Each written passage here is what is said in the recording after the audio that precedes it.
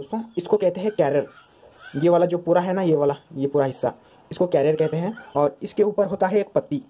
Career की पत्ती होती है। इस पत्ती से ही ज़्यादा सोंड नहीं आता, पत्ती रहे तो। अगर से पत्ती नहीं रहे तो सोंड आता भी है और हेलो दोस्तों इसके मशीन में आपका स्वागत है। आज हम बताएँगे सिलाई मशीन में तागा टूटने के बारे में। चलिए दोस्तों, सिलाई मशीन में आपके सिलाई मशीन में तागा टूट रहा है तो इस वीडियो को ज़रूर देखें और आज हम कैरियर के बारे में बताएँगे। कैरियर से तागा टूट रहा है तो कैसे ठीक करें? चलिए दोस्तों, पहले पिछले वीडियो में हम प्लेट, शटल और नाल के पत्ती से कैसे तागा टूटता है इसमें सब कुछ डिटेल दिया है। आज हम कैरियर के बारे में बताएँगे कि कैरियर से तागा कैसे टूटता है। चलिए दोस्तों, इस वीडियो में बने रहें और हमारा वीडियो आपको अच्छा लगा है तो लाइक और सब्सक्राइब ज़रूर करें। चलिए दोस्तों, ये देखिए दोस्तों, इसको कहते हैं कैरियर राड। इसको कहते हैं कैरियर राड। ये वाला कैरियर राड है और ये वाला जो अंदर का है इसको कहते हैं कैरियर जो ये शटल के साथ रहता है ना इसको कहते हैं कैरियर मैं आपको ये नाल को खोल के बताऊँगा कि कैरियर से तागा कैसे टूटता है. ये देखिए दोस्तों मैं अभी नाल खोल रहा हूँ और नाल खोले बाद आपको कैरियर का पूरा डिटेल दूँगा. और कैरियर में कैसे क्या होने से तागा टूटता है ये सब कुछ डिटेल बताऊँगा और आप करने से वो, वो कारण को बचना चाहिए. चलिए दोस्तों, ये वाला नाल निकाल दिया मैंने। ये देखिए दोस्तों, इसको कहते हैं कैरियर ये वाला जो पूरा है ना, ये वाला, ये पूरा हिस्सा, इसको कैरियर कहते हैं और इसके ऊपर होता है एक पत्ती। कैरियर की पत्ती होती है। इस पत्ती से ही ज़्यादा सोंड नहीं आता, पत्ती रहे तो। अगर से पत्ती नहीं रहे तो सोंड आता भी है और तागा भी बहुत ज़्यादा तोड़ता है।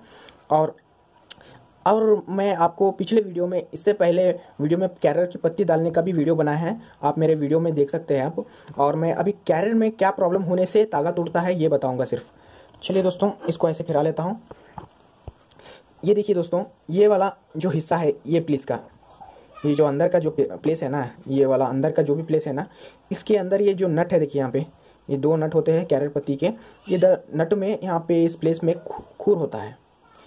खूर बोले तो जैसे चूरा रहता है ना, लोहे का चूरा रहता है, उस चूरे से तागा टूटता है। वो चूरे को साफ़ कर लेना चाहिए। यहाँ पे हर कहीं पे भी रफ नहीं रहना चाहिए, स्मूथ रहना चाहिए, सॉफ्ट रहना चाहिए। ऐसे रफ रहा तो भी तागा टूटता है। इसीलिए इसको साफ़ कर लेना चाहिए। साफ़ करने के लिए आपको मैं तीन कोनी का फ़ाइल बताया था ना पहले? ऐसा वाला तीन कोनी का फ़ाइल इससे ऐसे साफ़ कर लेना चाहिए। देखिए दोस्तों, इसको ऐसे साफ़ कर लेना चाहिए।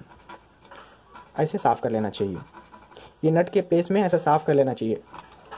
और ये साफ़ करे बाद भी आप क्या करना चाहिए बोले तो ना, जो रेगमल पेपर होता है ना, ऐसा वाला रेगमल पेपर से भी इसको साफ़ कर लेना चाहिए अंदर साइड में। अच्छे से साफ़ कर लेना चाहिए। और ये ऐसा छीके देखना चाहिए स्मूथ रहना सॉफ्ट रहना चाहिए। अगर से रफ रहा तो और साफ़ कर लेना चाहिए। कितना भी रफ नहीं रहना चाहिए, पूरा सॉफ्ट रहना चाहिए, ये वाला हिस्सा। और ये अंदर का हिस्सा भी है और ये वाला भी स्मूथ रहना चाहिए। ये स्मूथ रहा तो ही आपका तागा सॉफ्टली निकल जाएगा।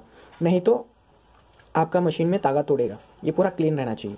चलिए दोस्तों, इस वीडियो में इतना ही। और आपको अच्छा लगा है तो लाइक और सब्सक्राइब ज़रूर करें। और ये नाल को मैं ऐसे ही लगा लेता हूँ। जैसे निकाला वैसे ही लगा लेता हूँ। चलिए दोस्तों, हमारा वीडियो आपको अच्छा लगता है तो लाइक और सब्सक्राइब ज़रूर करें और शेयर भी करें अच्छे से। चलिए दोस्तों